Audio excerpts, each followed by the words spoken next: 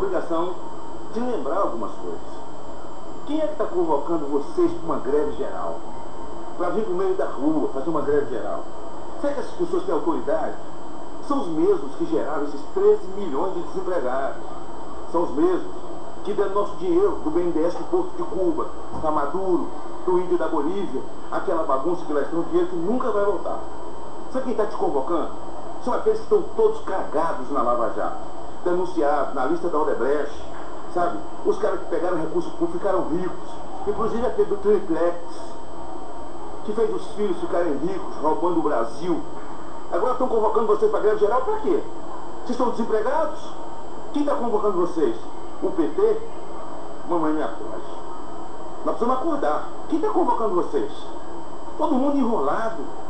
E agora eles têm solução para o Brasil. Depois de ter destruído tudo, acabaram com a nossa economia, viramos chacota do mundo. Eles agora têm solução. Então ninguém pode entrar nesse engodo. Quem está convocando você para greve geral é o sujeito que levaram milhões do BNDES, que roubaram o Brasil. Presta atenção, acorda. Chamando você para ir para a rua. Quem é o sindicato que está te convocando? Essa greve não é por nada não. É o medo de perder, sabe o que? É a contribuição é, sindical. E tem que perder. Sabe por quê? Porque a contribuição sindical sustenta as milícias do PT, que é quem vai para a rua dia 21.